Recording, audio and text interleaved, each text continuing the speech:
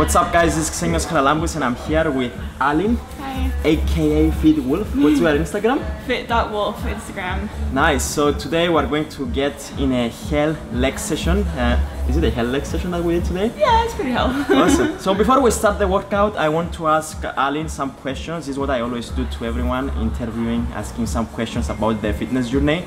So Aline, how long have you been training for?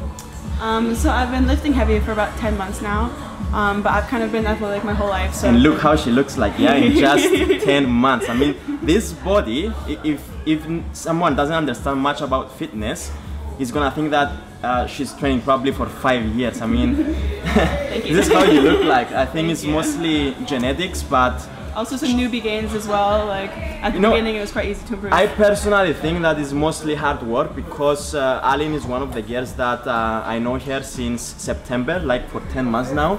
And she wasn't looking like this uh, when I met her back on September. I mean, I'm, I'm going to show a picture of her transformation right now. So this is the gains that she gained over the past 10 months, but it's all about hard work. I've never seen a girl in my life in this gym training as hard as here. You are like here for like maybe six hours um, per day. Alan, what was the main reason that you got into fitness? Um, so one of the main reasons I got into fitness is because I do MMA on the side um, and jujitsu as well. So I wanted to build strength for that so that I could hold my own against some of the guys. Um, but as I got into it, I just kept going because I like the feeling of being strong, being able to like lift um, and push myself harder and harder every every day. And I, I just like the feeling of like being as strong as I can be basically. How is your routine like? So now you are a student at University College London. Yeah, I'm in my second year, Okay, So what are you studying? uh, anthropology. Anthropology, nice. So how difficult is to combine uh, fi- fitness and also at the same time being a student? Um, it's definitely not easy, but I think that if you really want it, then it's quite easy to fit into your schedule. Um, some people say that they don't have time, they're studying, they have classes and everything, but I think if you really want um, a good transformation and if you want to improve yourself, then you'll make the time.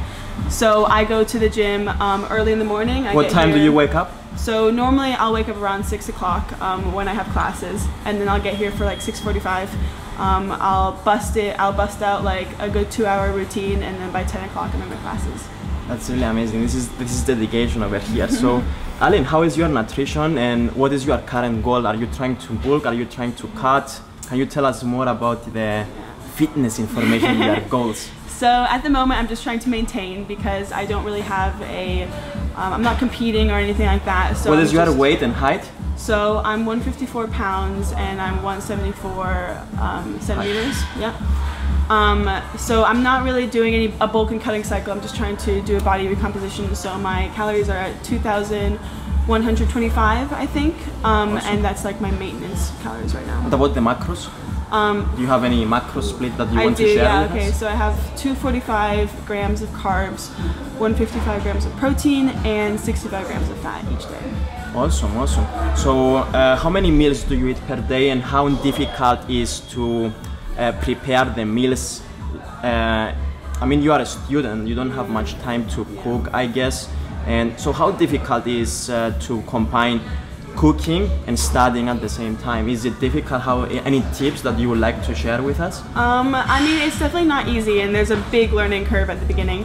Um, but I think if you take two or three hours out of every Sunday to meal prep, maybe four or five meals, um, maybe just your lunch or your lunch and dinner, then you can kind of sprinkle in snacks and breakfasts um, as you like, and you can have that change daily so you don't get bored of the same thing. Um, but I guess my best tip would be like to prepare. Meal prep is so key. Like if you already have a meal in your fridge at the end of the day, then you're much less likely to order takeout or go for some of the naughtier options. Do you eat the same foods every day, or you have um, you, you eat different foods uh, on each day? Um, How do you do your meal prep? So I'll have the same lunch and dinner probably four or five days in This a is row. for efficiency, yeah. So yeah, okay. exactly. Um, and also saves money as well if you like buy in bulk. Um, How much money do you spend per week on food? I don't know.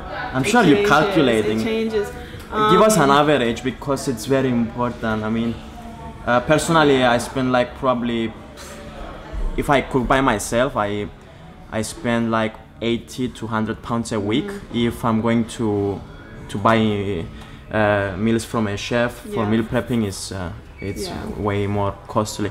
So what is your estimation Yeah, about? I think I think 100 pounds or maybe like 110 pounds a week will be because I do like some of my protein bars, my more expensive protein bars, protein powders, and I save Oh, up for those kind of things. Um, but just produce and stuff would be like 100 or 110 pounds. What encouragement do you want to to say to women out there who are, who want to live to get a nicer body? I mean, what is your view on women and fitness? Uh, how do you see things? Um, so I definitely think there's a stigma um, for women lifting, especially lifting super heavy. Um, I get many people saying that like women shouldn't have muscles, women shouldn't lift as heavy as the as the guys do, and I think it's really important to break that stigma and show um, everybody that we can do just as much as the guys can inside the gym and outside. Exactly. Um, No. I, I think you lift some more of some of the guys here. I mean, Thank you. uh, absolutely. Yeah. Uh, if a girl works hard, she can definitely achieve what Aline has achieved over the past 10 months if you work hard Yeah. because I'm not saying that it's something easy. Um, I don't know over the past 10 months what do you think about your journey? Do you did you find it easy? Do you did you find it hard? Um, no, it definitely wasn't easy, um, to say the least. what, what do you think is the hardest part? I think the hardest part is um, um, starting habits. Basically, is it's easy enough to say that you're going to go to a gym to the gym for a week and you're going to eat healthy for a week, but really starting a cycle, starting healthy habits is like changing your lifestyle. Basically, is the hardest thing. Um, yeah. How do you find motivation to go to the gym? Are you motivated every time to, to work out? What is your secret when it comes to motivation? What brings you here in the gym? I think honestly, I think motivation is kind of overrated. Um, Cause yeah, you you can be you can go to the gym when you're motivated. Everybody goes to the gym when they're motivated. But the hard part is going to the gym when you're not motivated. So sometimes people, so you re, you really need to like again like start a habit of actually going even when you don't feel like it. Just make it part of your daily routine, and that's when the results start to come. It's amazing. So, what are your goals uh, on the upcoming five years? Where do you see yourself in the next five years? What do you want to achieve in the fitness industry? Um, well, I mean, I'm sure you have your goals. You told me you are going to the competition right now. Yeah, Uh, um, yeah. So I really want to improve my MMA and jujitsu game. Basically, I want to compete more in that. I want to um, maybe mold some of my lifting around that so I can improve in the sport. Um, and I basically just want to just want to raise the weight on that bar and see how like high, you know, how, How heavy strong I, you yeah, can how get, strong yeah. I can actually get.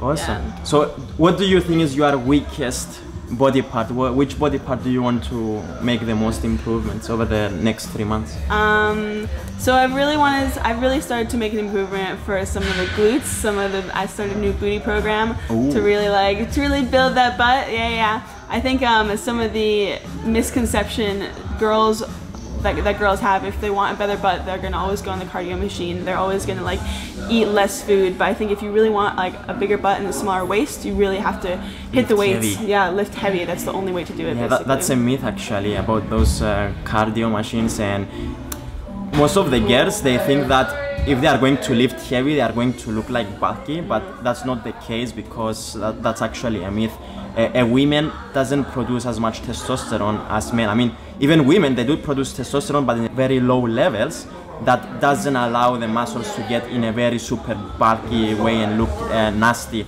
um, as a girl so aline thank you so much for being in my videos Thank you for having me. how do people can find you Um, so basically, I have an Instagram at fit.wolf. Um, you are also doing photography, I also do photography. Um, I'm a conceptual and portrait photographer. So if you want to search she's Alina doing Ronsky- amazing work Thank you. Yeah. um, AlineAronsky.com. That's my website. Awesome. Thank you so much for, Thank for being on my channel. Make sure, guys, that you follow Aline on her Instagram. I'm going to link the links in the description below. So I'm going to see you again on the next video. Make sure you like and subscribe. Bye.